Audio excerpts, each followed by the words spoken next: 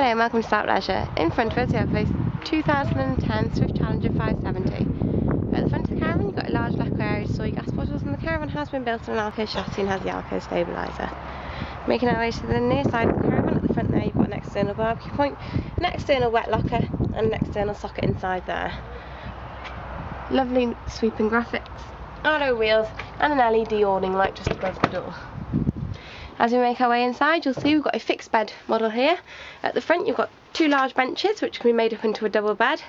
Lovely neutral, yet modern upholstery. Plenty of storage lockers above there, and a nice large Heki roof light to let in lots of light and air to the caravan.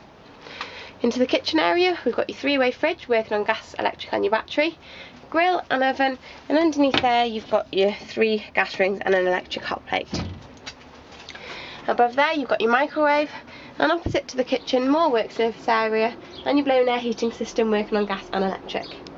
Now then to the rear of the caravan we've got a nice large fixed bed here, plenty of storage underneath there, nice matching headboard and more storage again above there. Onto the side here you've got your double wardrobe.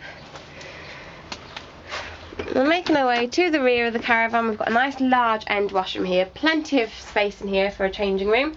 You've got your shower compartment in the corner there, sink and vanity area, and your set toilet with an electric flush. And again, more storage above there. As you can see, this has been kept in an immaculate condition. It's really popular layout this, fixed bed with an end washroom, which doesn't come very often. Plenty of space inside for a family, or for a couple just wanting a little bit of extra room. Come down to Salop Leisure and take a look.